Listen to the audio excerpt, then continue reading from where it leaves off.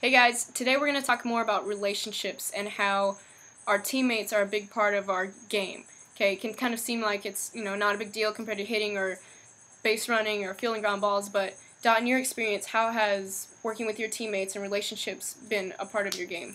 Well, one thing that I hope when someone looks back at my career and talks to a teammate, I hope the teammate says that because Dot was on the team, I felt that I played better and with more confidence because when you are a teammate who is a leader, you know, you're a teammate that is there for the right reason. And the right reason is not about your accomplishments, mm-hmm. but it's about the team glory overall. Um, you know, that's really what you want to accomplish because in the Olympics in 1996, it was the first time that our sport of softball was hosted in the Olympic Games. We were on the program and we're playing in the gold medal game. And I'll never forget it. I get up to bat and I hit this ball. And I knew it had the distance, but it's just a matter of whether or not it'd be fair or foul. Well, when I saw it was a foot to the fair side of the foul pole, my arms went up in the air because I realized, oh my gosh, that home run was enough to win. And Laura Berg was on first base. And the first thing I heard was not the roar of the crowd, but it was my first base coach, Margie Wright, saying, Run! Run! And I was like, well, I am running. Well, Laura Berg, when she saw us a home run, she turned around and started to run back to hug me. Oh, no. So, are you nurturing the team to where you have teammates that can celebrate your individual accomplishment because they know it's really for the ultimate glory of the team's goal? And and bigger than that, I think that showed I had the chance for that platform to show hopefully God's glory mm-hmm. through interviews about having a home run in the gold medal game. That all of us were standing up there, 15 of us, receiving the first ever Olympic gold medal in the history of our sport, um, all collectively with each other. But let me tell you, not every teammate gets along the same with each other. I mean, that's we want that to be that way, but the reality is that not every teammate is going to be as close to each other as some might be. Um, you know, you might even have people you're playing with you don't even know. I've had tryouts before for different USA teams, and I didn't know people I was on a team with for the mm-hmm. tryout. But I want to get even deeper, Kristina, because I think all of you listening have to know that not everyone is going to love you. Not everyone is going to like you. I don't know why. I really don't. But there's a lot of emotions out there, and the devil works in a lot of strange ways. But let me tell you that if you want people to love you so badly that you do what is not you, you get involved into the temptations in this world just to be liked, such as drugs, alcohol, promiscuous sex, stealing, badgering other people, being mean to others for one group to like you over another. That's sad because to me it tells me that you actually don't believe in how special you are. You know, that you're actually doing things that just so other people love you. And the reality is that if they like you because of that behavior, they do, really don't like you. They like who you're pretending to be. Right? right? I mean, I see that all the time. And I'm like, ladies, why? You know, why do you do that? Because you don't recognize that Jesus has made you how you are and loves you.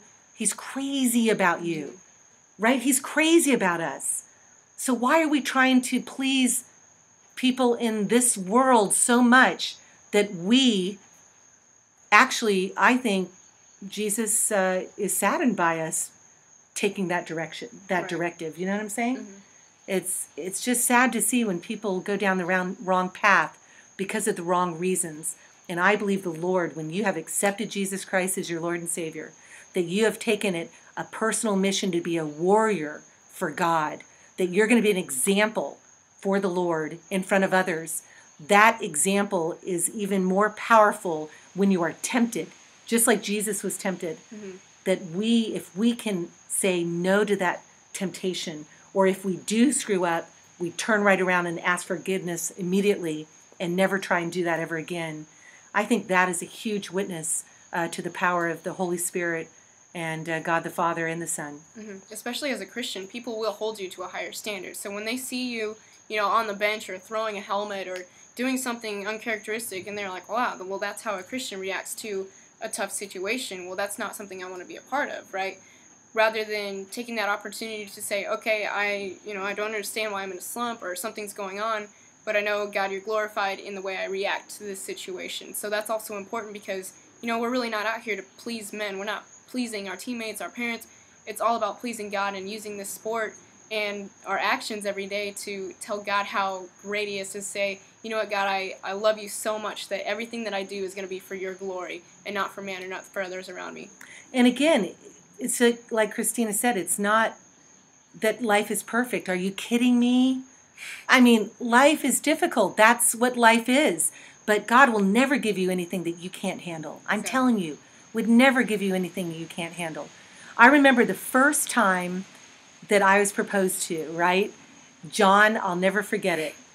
He said, Dot, will you marry me? And before he gave me a chance to answer it, he said, and you don't want to keep playing softball, right? And and you don't want to be a doctor, right? I said, John, I said, you don't want to marry me. You want to marry who you want me to be. And I'm so grateful that the Lord is in me so much that I was able to recognize that because I've seen people getting married or having boyfriends that are out there doing it for the wrong reasons, you know? And then what happens? You go, through a bad breakup, you know, heartbreak or, you know, divorce or whatever at the level it is. But everything that we do, and as painful as things might be, from that heartbreak or whatever it is, it really is to strengthen us to be stronger examples of glorifying the Lord um, through all of those rough times. Do you search Him out for strength in those times, or do you try and go to other worldly things to try and get through a depressive state? You know, in softball, you can control, you know, only so much, Mhm. But God is always in control. Right. And that's something that we hope is an encouragement to you, just so you can see, like, you know, not everybody has it together all the time, but that's why we have, you know, teammates that keep us accountable, God that keeps us accountable, the Holy Spirit, and to know that, you know, things are going to be hard sometimes, but God's going to help you through it. And through those situations, you can show Him so much glory and depending on Him and not using other things as a crutch, but really leaning on Christ to be a strong example for those around you. So we hope that you can use this because it's really, really important in your walk as well as on the field. So you guys have a blessed week and we'll see you next time.